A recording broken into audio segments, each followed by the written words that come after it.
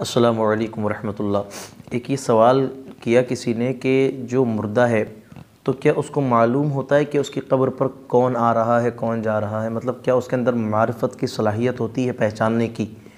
تو اس کا جواب ہے کہ ہاں بالکل اس کو پہچاننے کی صلاحیت ہوتی ہے۔ بلکہ آقا کریم صلی اللہ علیہ وسلم کا فرمان ذیشان ہے کہ جب کوئی بہت عزیز، بہت قریبی مردے کی قبر پر آئے تو اس کو انسیت ہوتی ہے۔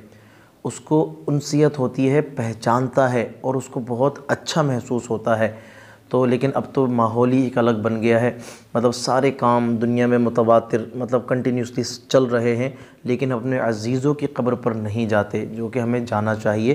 ایک تو اس لحاظ سے بھی کہ ان کو انسیت مل ہوتی ہے اور دوسرا یہ کہ ان کو اصال ثواب کرنا، وہ خوش ہوتے ہیں۔